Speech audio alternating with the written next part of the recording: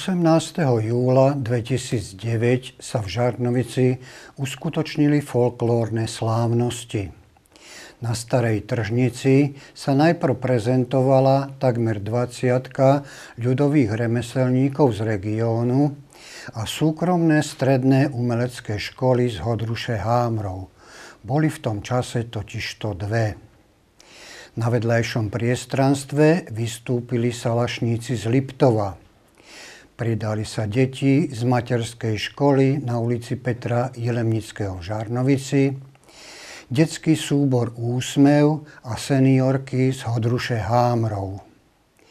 Peter Hlbocký z Veľkého pola stihol početnému publiku zaspievať a zahrať na drumbli a na fujare, keď sa poriadne rozpršalo. Koniec slávnosti to však neznamenalo. Účinkujúci a diváci sa presunuli do kultúrneho domu v Žarnovici a pokračovanie podujatia si môžete pozrieť z priloženého filmového záznamu.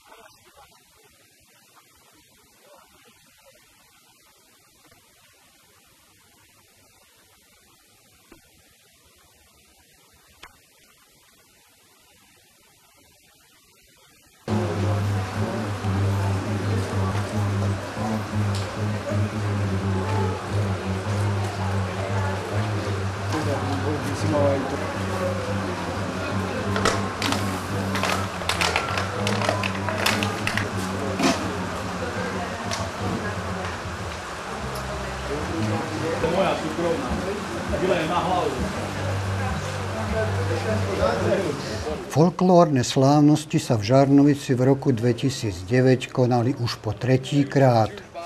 Usporiadali ich mesto Žarnovica spoločne s obcami mikroregiónu Kľakovská dolina. Po deťoch a seniorkách z Hodruše Hámrov s hrami, piesňami a tancami pokračovali vo vystúpeniach ďalšie súbory z mikroregiónu. s programom Pozdrav od starostu. To boli členovia základnej organizácie Jednoty dôchodcov na Slovensku z Hrabičova. Grúnčanka a súbor Vtáčnik z Ostrého Grúňa predviedli blok pre potešenie a radosť.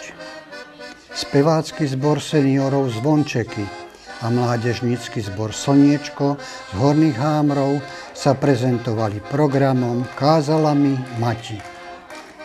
Vystúpenia umelcov z regiónu ukončilo pásmo Kosenie medzí podaní súboru Dolinka z Voznice a pásmo piesní domácej speváckej skupiny Prameň. Vyvrcholením programu, ktorý trval až do 20. hodiny a 30. minúty, bolo vystúpenie folklórneho súboru Poľana z Technickej univerzity zo Zvolena s tancami a spevmi z Horehronia, Čierneho balogu a Detvy.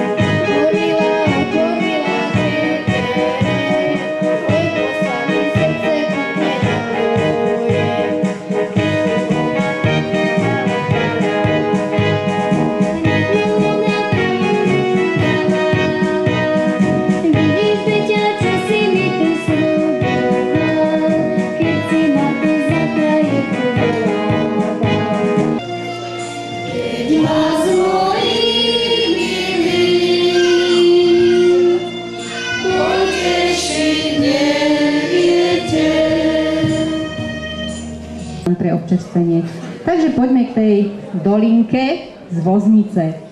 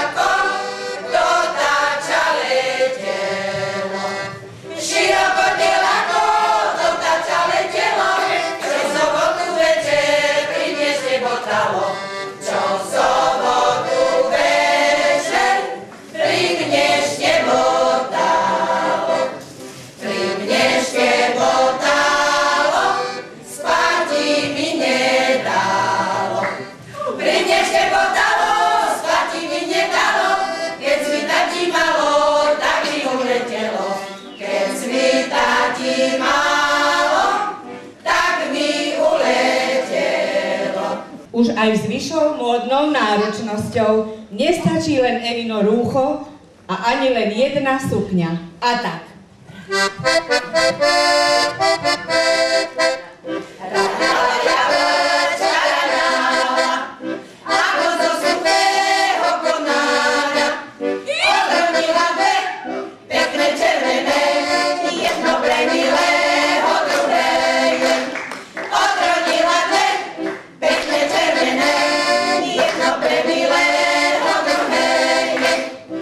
Môžeme to odozdať zástupkyni mladšej generácie. Odovzdáme. Sa páči, blahoželám, poďakujeme takýmto spôsobom. Poďme zatiaľ sa postaviť a spýtať sa Ďakujeme aj základnej organizácii Jednote dôchodcov Slovenska Hrabičov. Ďakujeme.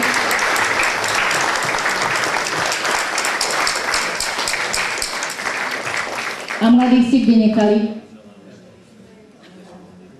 Unavení, ale nevadí.